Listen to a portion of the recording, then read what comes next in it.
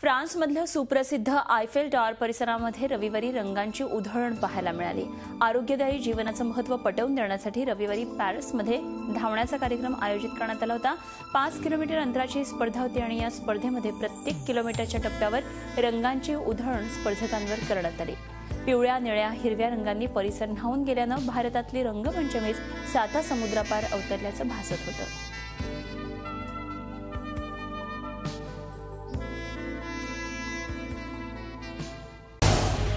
Zee चोवीस तास. रहा एक पाऊल पुढे.